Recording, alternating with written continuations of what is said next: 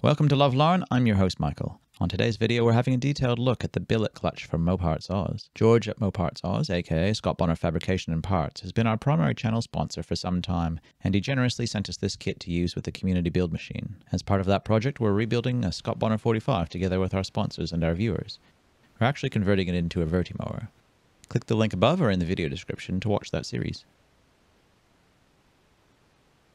The kit we're looking at today is the SB45 billet clutch half and ringside kit, and it includes everything you'll see in this video excluding the cork. So be sure to add corks to your cart if you place an order. George sells these clutches in different kit configurations, or you can buy just the individual components you require. George also makes and sells a centrifugal clutch, and you may want to have a look at one of those as an alternative to the billet clutch. The centrifugal clutch engages automatically as the engine speed increases, and in contrast with the design of this clutch, there's no clutch cone or lever to operate. Check out mowpartsoz.com.au for all the good stuff. But back to the billet clutch. This clutch is machined from billet aluminium, hence the name. A billet is a solid length of material that's been extruded into a cylindrical shape. A CNC then removes material to form the various clutch components. Clutch halves were originally cast in iron or aluminium.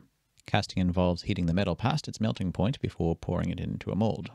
As I understand it, and in very broad terms, billet aluminium is generally stronger than cast aluminium and has a greater internal consistency, which leads to increased balance in the final product. Couple that with the benefits of machining, and any remaining imbalances in the material are essentially being machined out. And, of course, a CNC runs a computerized program, so it's not only consistent, but also ridiculously accurate.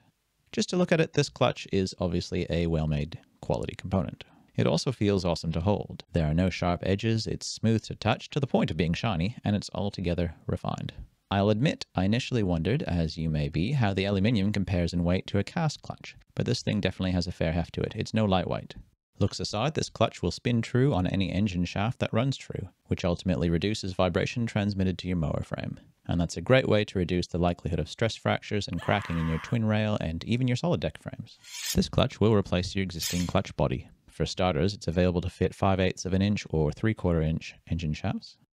It also uses the same cork material in the same place and engages the clutch cone in the same way as the original clutch design. The clutch is secured to the engine shaft using a key, a cotter pin, and a single retaining bolt or grub screw. Let's look at these parts closely. The cotter pin is one of George's high tensile cotter pins, so you know it's going to be well made.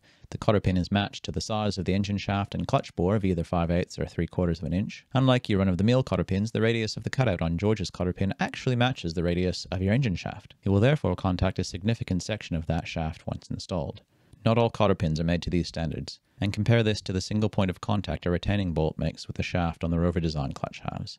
A cotter pin simply offers greater clamping force than Rover's cost-saving dual grub screw solution ever could. The key also registers the slot in the clutch half with the engine shaft, and a locking retaining bolt then bears down against the top of the key to hold it in place. This bolt is tightened using the internal hex head, and the washer and nut then bear against the clutch body to lock it in place.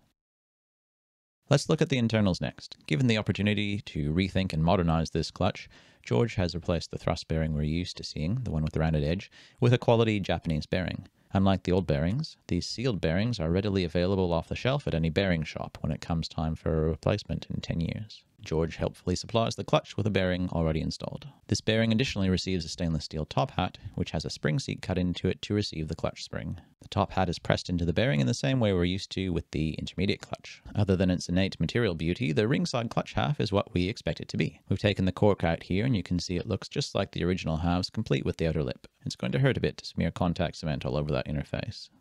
When it comes time to put the two clutch halves together, you'll find another surprise, testament to George's eye for detail and innovative approach. The two clutch halves fit together perfectly, as you'd expect, but you'll also find the holes for the three fastening screws on the engine side half are threaded. So the stainless steel bolts pass through the ring side half and thread into and through the engine side half, before washers and nylock nuts are installed on the other end. Talk about a positive connection. To round out the drivetrain and totally complement this clutch, you can also purchase new clutch cones and PTO shafts from mowpartsoz.com.au. As usual, you'll be in good hands with George.